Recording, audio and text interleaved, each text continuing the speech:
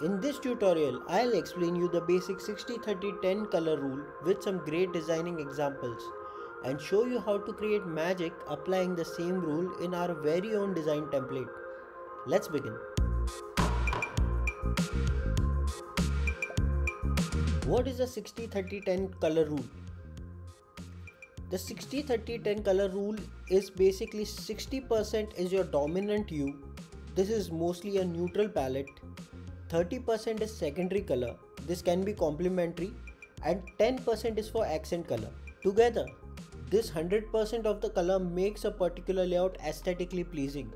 So why do designers use more than 3 color work perfectly fine? Because the rule is not hard and fast, but if you look at great designs with color ratio, it falls in place. For example, we have this design with more than three colors. So now uh, the color palette is as follows. So now you can see this is aesthetically pleasing but you would say why it is not using three colors and still looking aesthetically pleasing. So we have just uh, uh, made three particular boxes in the ratio 60 30 10 i'll show you if you look at from that perspective this is nothing but a 60 30 10 ratio color grid. Like let's say we have two dominant hues that is basically the neutral hues which comprises the majority of the entire layout. So let's say this is one of the hue we'll copy it. We'll have another half of this which two colors are the neutral hues that these people have used as the background color which is which comprises of the 60 percent. So white and gray that we have. The second 30% uh, is nothing but the blue that these people have used the navy blue and they have used this color as the accent which is the CTA and these people also have used a neutral tone of cyan along with the blue which we will also use. And I'll show you uh, how the ratio works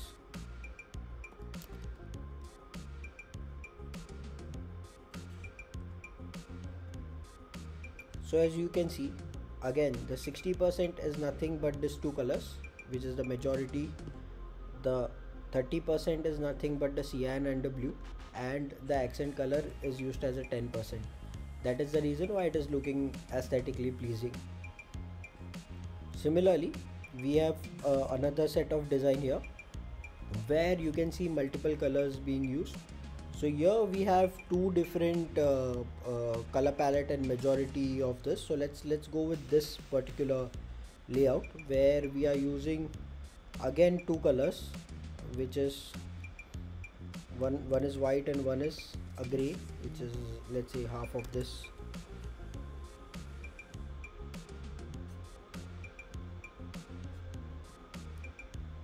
This comprises of uh, uh, the three or the two colors that we have or the three colors that we have which is majority which is blue uh, which is blue red and yellow.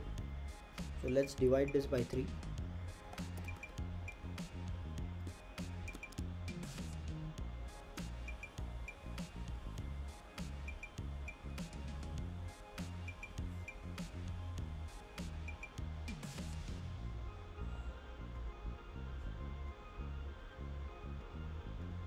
and this finally is the accent color that these people have used which is the minimal color.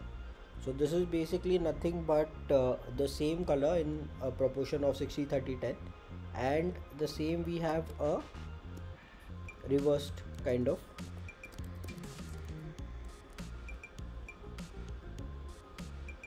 So in the reverse what they did is they just swapped the yellow which these people are using as the entirely entire yellow here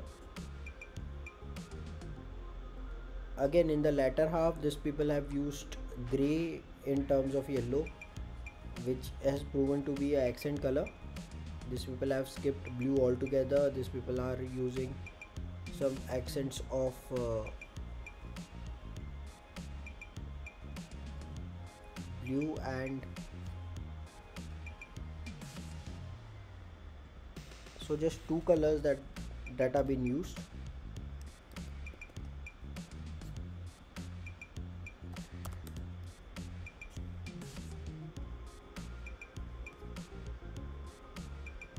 and the main 10% which is nothing but the darker shade of blue. Yeah so this this makes uh, our 60 30 10 ratio complete in this particular format as well.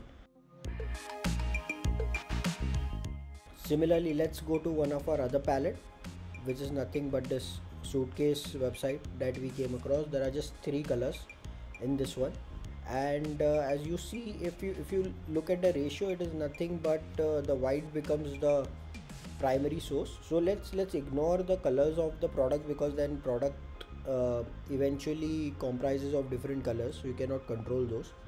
So let's take the basic layout. White becomes the major thing. The black becomes a secondary uh, color.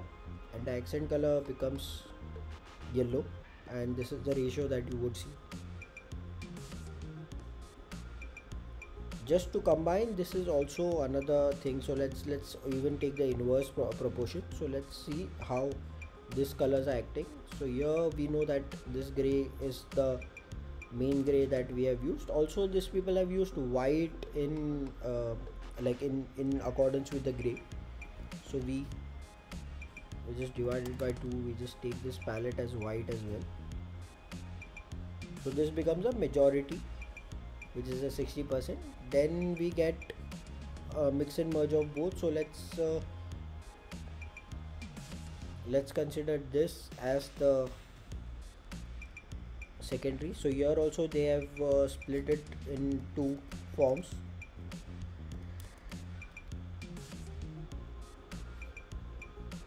And the primary which is the CTA button uh, is, is been used as the darker gray. Similarly they have used an inverse set of the same. So here they have used a black as majority in this layout. They have also used another set of uh, uh, gray.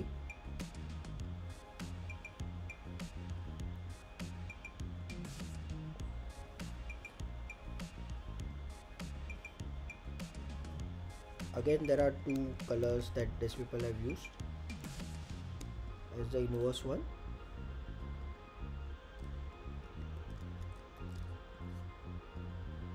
And the final one is the white color which is nothing but the complementary of black that these people have used. So that is basically the inverse ratio. So here as you can see we have uh, um, we can develop a complete color palette based on this ratio and then use it in our art form as well they're very easy kind of rule so here we have used a color palette uh, uh, which we took from one of the leading website that is color lovers I've made a video of websites that provide free color palette. I'll attach the link in the description and over here. So now we have a layout which is like very colorful and very cluttered. So what we will do is we will try to make it uh, soothing and we will try to match this particular color palette into this section and see how it works in the same uh, room. Let's keep this as a reference. so here what we will do is we will try to have first this particular ratio in which uh, the accent colors are 3 you can use the shades of accent color or you can use the gradients as well so let's see how uh, if we have gradients how will it look? Let's first combine with the accent. So the secondary color is nothing but this. So we have the secondary color in place we have the primary color in place and the tertiary color is nothing but the yellow. And on top of it we will again use this. So now it is looking much better than this colorful thing. But now uh, even if we have used this we are still missing out on something. So let's see how how we could make it better. We could we could add some gradient maybe. So let's say we, we add some linear gradient. Cross one. So we use the darkest color. And here we use the lightest one among them. Okay we can also adjust the gradient.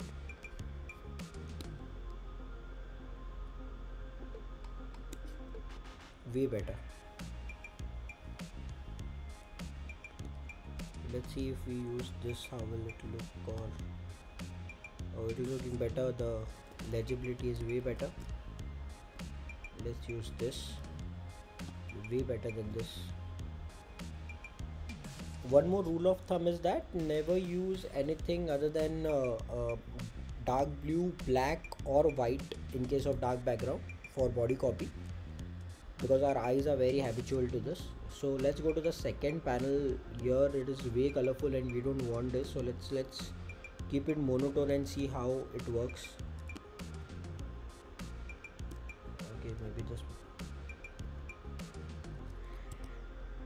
so let's let's keep a lighter shade and then put a darker shade on top.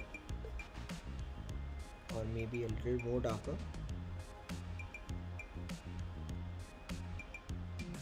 So this is all on experiment but then you at least know that you have a color palette that that goes well. And then you can experiment on top. Just to differentiate it a bit and to create a hierarchy we can use a tint for the same so let's see we, we are using this tint. So let's continue this yellow which is like our primary color which we used. And it's way better than what we started. We can compare. Yeah. Mm, let's see how we can do this particular section. What i was thinking is maybe we can use a darker tint and we can maybe try to mix and match and see how things work out. And rather than putting so many colors I was thinking why not uh, have blue as a secondary one?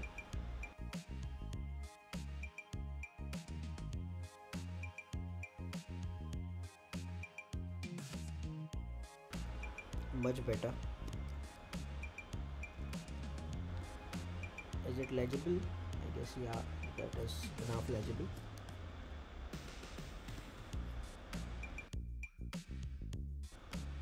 so now we have this uh, illustration as well.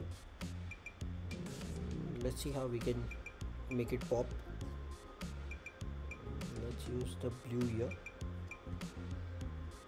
What we'll do is we'll use the yellow which is basically nothing but the CTA we like to keep consistency across the entire thing so then the CTA pops so now we don't have any reds in our uh, artboard the best way to do this is that you just have to mark the reds. So here I've added it in the color palette and you can directly uh, edit it and uh, replace it with something else. Replace it with yellow maybe. Or if you want to pop it out a little bit you can replace it with any other color like you can replace it with neutrals. Then it becomes too neutral mm, so let's see let's let's keep it something like no too dull right? Let's keep it yellow i guess that that'll do the trick.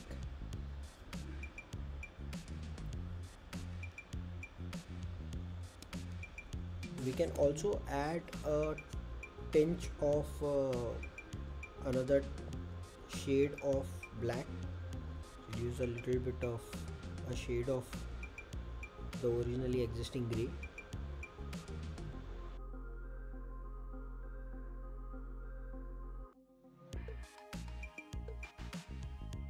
So let's let's see maybe we can put a shirt as yellow and maybe pant as some neutral color.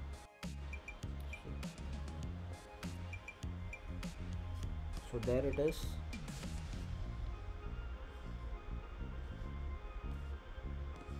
so way cleaner than the previous one. Don't forget to like the video and subscribe. If this video provides a valuable lesson the next video will give you a free website to choose your color palette from different methods. Check it here